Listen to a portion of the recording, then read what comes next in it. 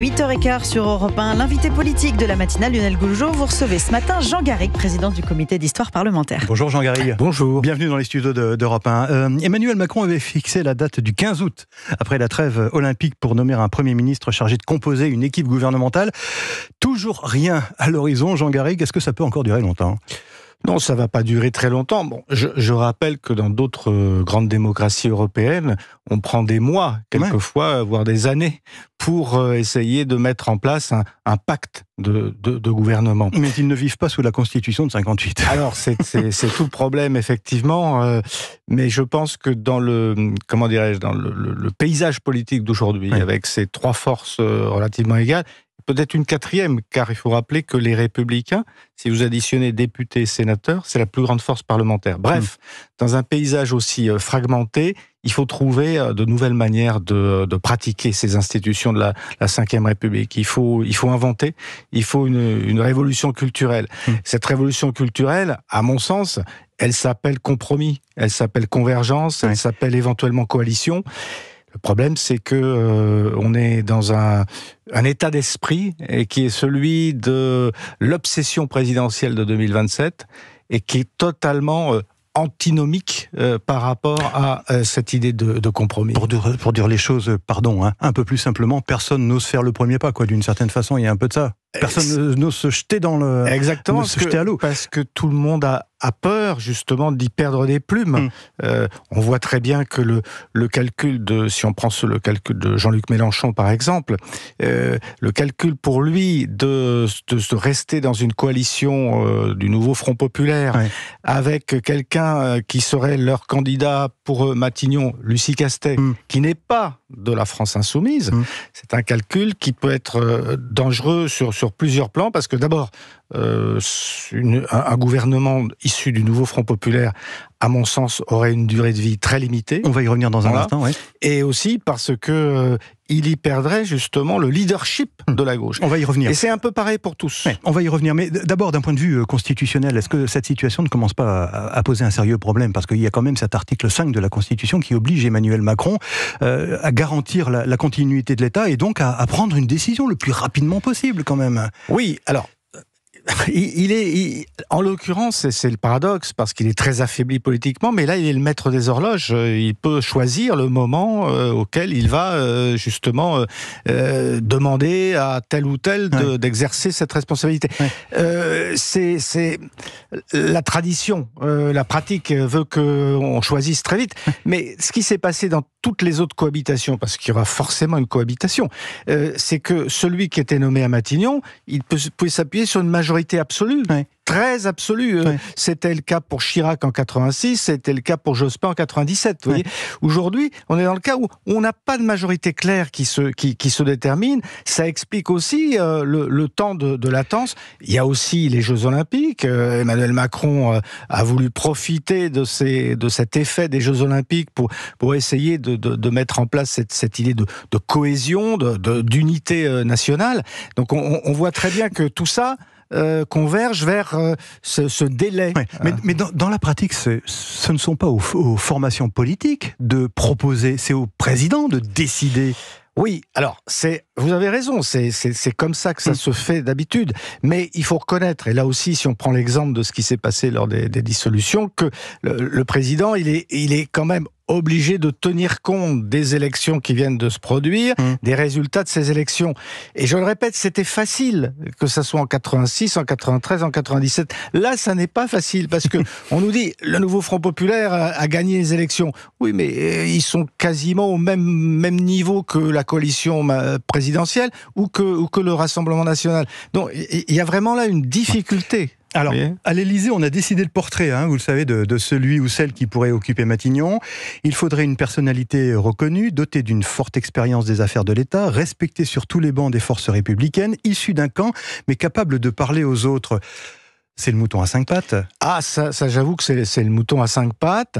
Sauf, je le répète, à avoir cette révolution culturelle qui permettrait d'appeler, à mon sens, une personnalité qui soit un tout petit peu, qui est pris du recul vis-à-vis justement des, contraintes partisanes et de l'objectif euh, présidentiel. Vous pensez à quelqu'un? Non, mais il y a des noms qui circulent. Euh, je j'apprends rien à personne en disant que les noms de Bernard Cazeneuve ou de Xavier Bertrand. Mais on dit que ce sont des leurs, que ce sont justement que c'est une façon de une espèce d'écran de fumée justement pour faire euh, parler les, observateurs et les journalistes que nous sommes, alors qu'à l'Élysée on a peut-être déjà choisi quelqu'un d'autre. Connaissant, euh, enfin connaissant comme tout le monde la personnalité d'Emmanuel Macron, on n'est évidemment pas à l'abri d'une surprise. Et effectivement, la stratégie, la meilleure stratégie, c'est toujours de la stratégie de la surprise et, elle implique justement ces, écrans de fumée. Hmm. Donc euh, euh, on est à l'abri d'aucune d'aucune surprise, d'aucune, euh, je dirais, d'un lapin tiré du, chapeau présidentiel. Donc, mais mais si vous voulez, c'est pas le plus important. À mon sens, le plus important aujourd'hui, c'est de se dire, on a des institutions qui sont bâties pour avoir une majorité absolue. C'est comme ça que le général de Gaulle l'a souhaité. On a une situation qui n'est plus celle-là. Il faut donc adapter nos pratiques mmh. à, ces, à ces institutions. Et adapter, moi je ne vois pas d'autre solution, je répète, en historien, que euh, de trouver des solutions de, de compromis. Alors qu'est-ce que ça doit être? Est-ce que c'est un gouvernement de techniciens? Est-ce que c'est un gouvernement fondé sur un pacte d'action comme le, propose Attal, etc. Euh, il faut trouver quelque chose de différent. Mais ça veut dire, ça veut dire que quelque part, euh, d'abord les partis mettent un peu de côté leur posture leur polémique et l'obsession euh, présidentielle de 2027. Et ça veut dire aussi que le président de la République euh, accepte de prendre un peu de distance, de recul, de laisser fonctionner les groupes parlementaires pour qu'ils arrivent à trouver une, une plateforme. Et pourtant, Jean Garrigue, l'atmosphère politique dans laquelle on est depuis euh, deux ans n'est pas favorable à ce type ah de, bah, de, compromis. C'est même euh, exactement l'inverse. On, est dans une conflictualité euh, permanente. Le terme, presque de, haine, et, façon. je dirais, et de, et de manière même presque, comment dire, mécanique. Vous avez des forces politiques qui n'ont pas du tout intérêt à ce que ça fonctionne, à ce que ça marche. Parlons du cas Lucie Castet, parce qu'il est quand même euh, assez, ah. euh, assez original. Candidate avancée par le nouveau Front Populaire, elle a entamé une sorte de, campagne cet été hein, pour euh, justifier sa légitimité à occuper Matignon. Emmanuel Macron lui a déjà signifié une sorte de, enfin, de non-recevoir en fait. Hein. Est-ce qu'elle peut convaincre au-delà des rangs du nouveau Front Populaire pour construire une majorité parlementaire? Écoutez, ça, ça, ça, me paraît trop, très compliqué. Il y a une, une première condition, et cette condition, je suis pas sûr qu'elle parvienne à la, à la c'est-à-dire que la France insoumise soit euh, exclue euh, d'un gouvernement euh, dirigé par Lucie Castet. Parce que pour les autres, que ça soit pour les républicains ou même les, les, les, macronistes, c'est une condition sine qua non. On voit bien que Gabriel Attal, quand il envoie ses, ses, lettres au, au, groupe parlementaire, il exclut d'un côté LFI, de l'autre côté le Rassemblement national. Alors comment voulez-vous que si que, que Lucie Castet constitue un gouvernement issu du nouveau Front populaire, s'il n'y a pas LFI. Or, les autres ne veulent pas de LFI ça me paraît tout à fait euh, euh, difficile. Et alors, si tant est que ce gouvernement puisse exister, il serait inévitablement, à, très court terme, soumis à une motion de censure, euh, puisque, d'après ce que j'ai compris, le Rassemblement national, lui, ne veut pas de, cette solution. Alors justement, dans, la logique d'Emmanuel Macron, qui considère que effectivement ce, ce, gouvernement issu du nouveau Front populaire n'aurait pas de majorité, pourquoi n'a-t-il pas joué tout de suite, comment dirais-je, le jeu de je vous nomme euh, Lucie Castet à, Matignon. Dans les 48 heures, vous êtes, euh, euh, vous faites l'objet d'une motion de censure, et comme ça, la démonstration est faite que ce n'est pas possible, et donc je vais, je vais entre guillemets voir ailleurs. Vous avez raison, c'était, c'était une, une, hypothèse, c'était une solution. Je suppose, je suis pas dans sa tête, mais je suppose qu'il a voulu utiliser le, délai des, Jeux Olympiques pour essayer de trouver une autre solution, essayer de, mettre en avant quelqu'un ou ce, fameux pacte. D'où les hypothèses Cazeneuve, et D'où les, hypothèses dont on parle. Euh, il a été euh, beaucoup dit, euh, Jean Garrigue, que Emmanuel Macron voulait surfer sur le succès des, des Jeux Olympiques pour en tirer un bénéfice politique. Mais est-ce que ce sera vraiment le cas, d'après vous? Je n'y crois guère. 98, la Coupe du Monde, j'ai écrit un livre sur qui s'appelle Les Jours Heureux, qui est, dire, qui anticipait euh, ce qui est en train de se passer. Euh, 98, euh, euh, Jacques Chirac et d'ailleurs Lionel Jospin ont profité à plein de, de l'effet du succès de la Coupe du Monde plus 15% de popularité pour Jacques Chirac. Ouais. On est dans une situation totalement différente, avec un, un président de la République qui, euh, qui subit euh, un, un rejet quand même euh, qualitatif extrêmement euh, marqué. Euh, on, a, on a un président de la République qui est véritablement considéré comme celui qui nous a jetés dans, dans la crise après la, après la dissolution. Et je ne crois pas du tout que ce, cet effet Jeux Olympiques va pour lui être quelque chose de, de déterminant, d'autant plus que c'est un président qui est en, j'allais dire, en fin de mandat. Euh, alors ça va être une fin euh, qui va durer trois ans, mais c'est un président qui n'a plus euh, d'objectif, dont on sait bien qu'il va quitter la, la, la scène politique. Donc moi, je, je ne vois pas, en tout cas euh, aujourd'hui, je ne vois pas du tout un effet comparable à celui qui avait profité à, à Jacques Chirac, par exemple, en 98. Pourtant, ces Jeux Olympiques ont été une réussite Oui. à tout point de vue, sur le plan sportif évidemment. Enfin, Oui. encore que le, le gouvernement avait engagé une, une comment dirais-je, une politique euh, financement du sport de, haut niveau qui a, qui a fait Tout ses fait. preuves.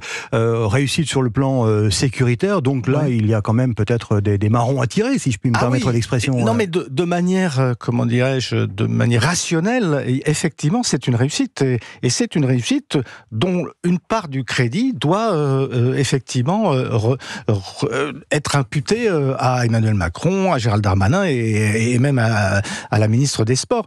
Donc, de, manière rationnelle, je le répète, il y a une véritable réussite, mais je vais encore plus loin. Moi, je pense que ce que révèle ce type de, de, de, de moment euh, de euh, patriotisme, mais d'un patriotisme positif, un patriotisme d'inclusion, comme on dit, euh, ouvert, Mm. euh, de d'enthousiasme, euh, d'unité, d'unité nationale. Tout ça, c'est quelque chose de très profondément inscrit dans, j'allais dire, dans nos gènes, et que on avait un peu tendance à oublier depuis un certain temps. On pensait à une France totalement fracturée, archipélisée, etc. Va revenir, et on, très très vite, les problèmes vont revenir, les tensions vont, vont se retrouver. Mais il faut jamais oublier qu'il y a chez les Français cette aspiration à quelque chose de d'unitaire, à quelque chose qui nous qui nous rassemble, à, travailler ensemble, à gagner ensemble. Et ça, c'est ce qu'a ce qu'ont révélé les, les, Jeux Olympiques. Et je pense que euh, ça fait partie aussi d'une attente sur le terrain politique. Je pense que l'opinion, elle attend aussi que les gens soient capables de se parler, de travailler ensemble et si possible, de gagner ensemble. Parce qu'il y a des grands dossiers qui attendent évidemment le, le, le gouvernement. On n'a pas parlé de la préparation du budget, mais là aussi, c'est, c'est, ça va être un rendez-vous euh, incontournable. Et puis, euh, sous nos yeux actuellement, il y a la situation en Nouvelle-Calédonie. L'archipel s'enfonce encore dans la crise, dans, dans les violences. Euh, une onzième personne est, est, est décédée ces dernières heures. Est-ce que le territoire de Nouvelle-Calédonie fait aussi, d'une certaine façon, les frais du, de, de l'absence du gouvernement, qui, pour l'instant, ne, ne fait que gérer les problèmes purement sécuritaires, quoi? Bah, c'est c'est incontestable. Ouais. Quand vous avez comme ça un, un gouvernement de transition, euh, vous ne pouvez pas. Alors, au, au contraire, d'autres reprochent à Gabriel Attal et à son gouvernement d'avoir pris trop de, me- de, me- de mesures, d'outrepasser, je dirais, les, les pouvoirs Ouais. d'un gouvernement de transition. Mais là, en l'occurrence, on voit très bien que ça donne une sorte de vide euh, de, de gouvernance et que euh, tous ceux qui ont intérêt euh, au désordre ou ceux qui, au contraire, veulent les indépendantistes, bah, ils s'engouffrent dans cette brèche. C'est une conséquences de la situation euh, actuelle. Exactement. Merci infiniment Jean Garrigue. Merci, Merci d'avoir été l'invité d'Europe 1 ce matin. Je rappelle que vous êtes président du comité d'histoire parlementaire. Merci à vous. Bonne journée. Alors, je ne suis plus président du Ah. comité histoire parlementaire. Bah écoutez, Je suis président de la commission internationale d'histoire des assemblées. Ah bah, enfin, c'est pas très grave, mais pardonnez-moi. l'actuel, l'actuel président euh, m'en voudrait beaucoup de, d'outrepasser justement. euh, De- de qui s'agit-il son- Euh, C'est un de mes collègues qui s'appelle Pierre Laurent. Bon, qui, bah, voilà. écoutez, on, on le salue, on, on Je s'excuse auprès salue de lui. Merci Jean Garrigue, excellente journée à vous. Europe 1, il est 8h28 et dans un instant, deux conseils lecture. La chronique BD de Sébastien Bordenave et le choix de Mola avec Stéphane Place et puis la revue de presse de Dimitri Vernet. Qu'est-ce qu'il fait la une ce matin Dimitri? Eh bien, jour de